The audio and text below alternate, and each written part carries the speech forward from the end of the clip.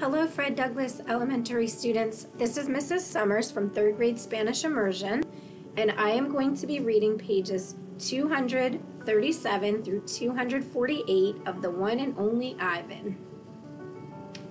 New box. Something strange is happening.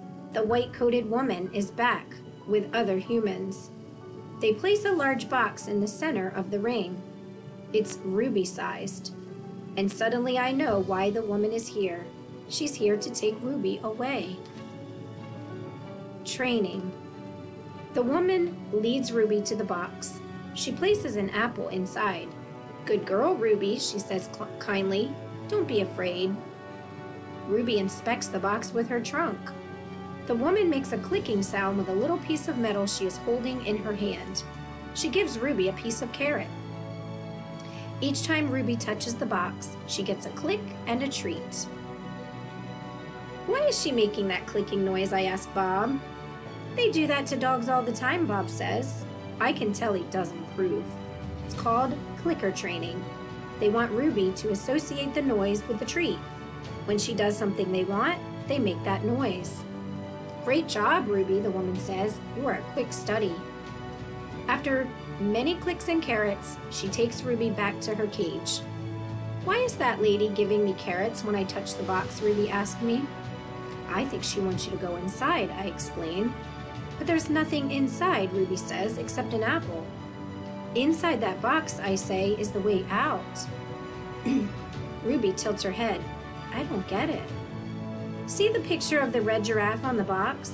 I think the lady is from the zoo, Ruby. I think she's getting ready to take you there. I wait for Ruby to trumpet with joy, but instead, she just stares at the box in silence. I'm not sure you understand. That box might be taking you to a place where there are other elephants, I say. A place with more room and humans who care about you. But even as I say these words, I remember with a shudder the last box I was in. I don't want a zoo, Ruby says. I want you and Bob and Julia. This is my home. No, Ruby, I say, this is your prison. Poking and prodding. The lady comes again. She brings an animal doctor with an awful smell and a dangerous looking bag. He spends an hour with Ruby, poking and prodding. He looks at her eyes, her feet, her trunk. When he's done with Ruby, he enters my cage. I wish I could hide under, not tag like Bob. Instead, I do a nice loud chest beat, and after a moment, the doctor retreats. We're going to need to put this one under, he says. I'm not quite sure what he means, but I strut around my cage feeling victorious anyway. no painting. No one asked me to paint today. No one asked Ruby to perform. There are no shows, no visitors unless you count the protesters. Max stays in his office all day. More boxes. I wake up from a long morning nap. Bob is on my belly, but he isn't asleep. He's watching the ring where four men are placing a large metal box. It's me sized. What's that? I ask, still blurry from sleep. Bob nuzzles my chin. I believe that box is for you, my friend. I'm not sure what he means. Me?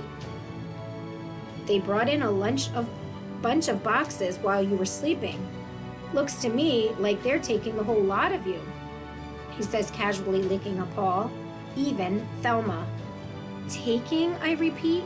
Taking us where? Well, some to the zoo, probably. Others to an animal shelter where humans will try to find them homes. Bob shakes himself. So, I guess all good things must come to an end, huh? His voice is bright, but his eyes are far away and sad. I'm gonna miss your stomach, big guy. Bob shuts his eyes. He makes an odd noise in his throat. But what about you? I ask. I can't tell if Bob's just pretending to sleep, but he doesn't answer. I gaze at the huge, shadowy box, and suddenly I understand how Ruby feels. I don't want to go into that box. The last time I was in a box, my sister died. Goodbye. When George and Julia come that night, George doesn't get his mop or his broom.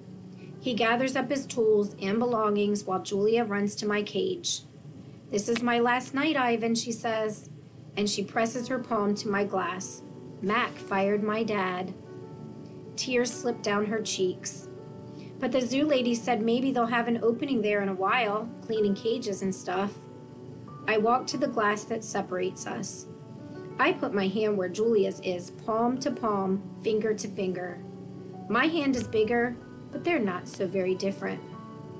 I'm going to miss you, Julia says, and Ruby and Bob. But this is a good thing, really, it is. You deserve a different life. I stare into her dark eyes and wish I had words for her. Sniffling, she goes to Ruby's cage. Have a good life, Ruby, she says. Ruby makes a little rumbling sound. She puts her trunk between the bars and touches Julia's shoulder. Where is Bob anyway? Julia asks. She looks around, under tables, in my cage, by the trash can.